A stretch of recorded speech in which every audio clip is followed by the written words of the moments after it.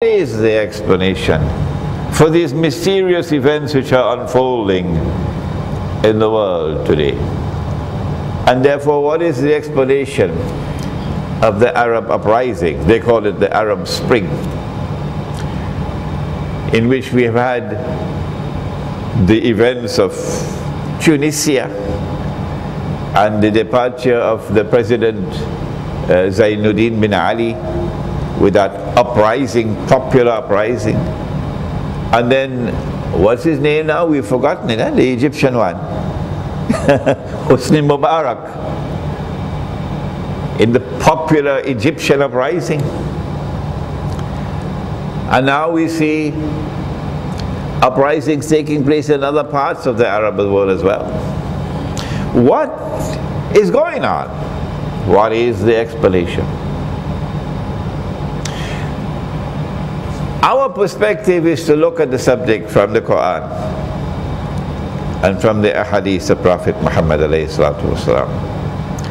And when we do that, the first thing that we recognize is we're, de we are dealing with the subject of Akhirul Zaman or Islamic eschatology. Maybe tomorrow the scholars of Islam are going to wake up and turn to this subject. But as of today, nothing has succeeded so far. They don't want to touch the subject. Why? I thought perhaps it's because of methodology. Methodology. An incapacity of turning to the Quran to locate that explanation because of defective methodology. And so now let us spend a few moments on methodology.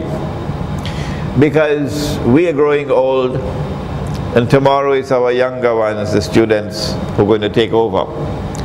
And we want to leave with them this methodology that they can take the subject further.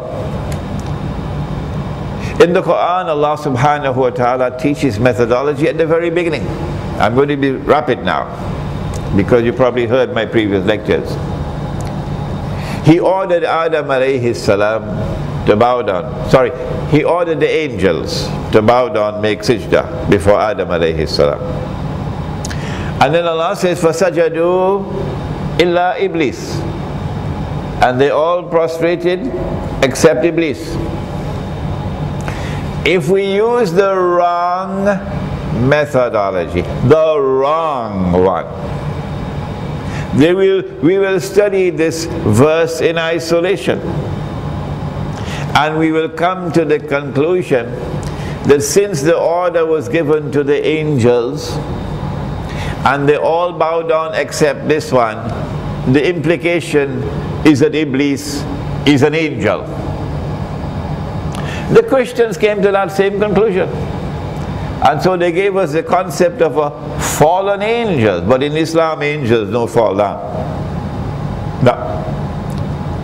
If we use this wrong methodology of taking a verse of the Quran or taking a hadith in isolation, you know, the lazy man's methodology,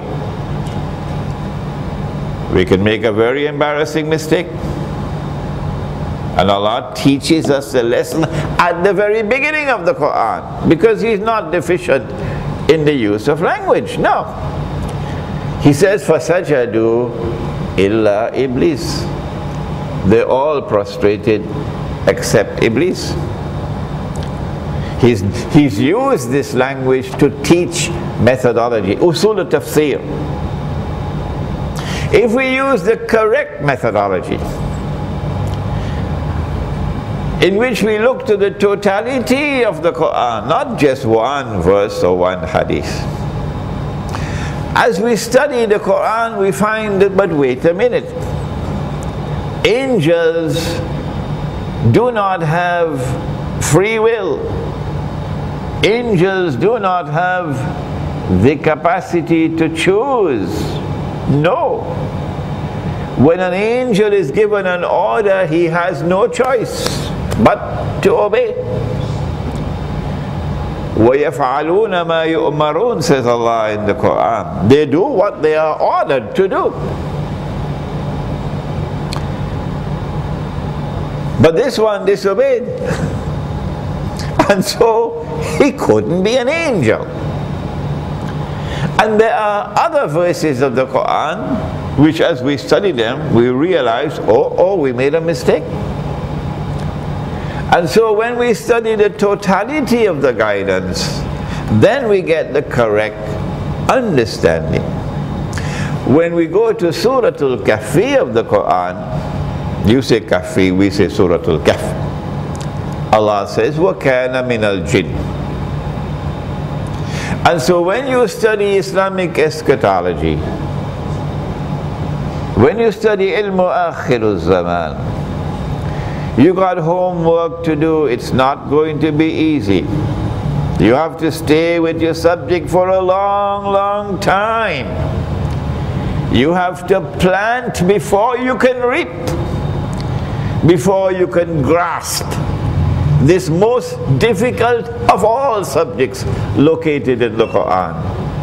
Ilmu Akhiru Zaman. You have to locate what is the central theme around which everything else revolves. And hold on to that and never part from it. That central theme, of course, is وَإِنَّهُ It can be read as لَعِلْمُ لِلسَّاعَةِ or la'adamun lisa'a. Both are correct. That he, Nabi Isa alayhi salam, when he returns, his return will be the sign of all signs of the last hour. So everything connected with the subject of ilmu akhiru zaman revolves around the central theme of the return of the true Messiah. But Nabi Muhammad alayhi salatu wasalam told us that before the true Messiah returns, Allah subhanahu wa ta'ala will release into the world a false Messiah, Al-Masih al-Dajjal. And when we study the subject of Al-Masih al-Dajjal, and we also study the subject of Ya'juj and Ma'juj or Gog and Magog. Now we get the explanation. The Quran now begins to explain to us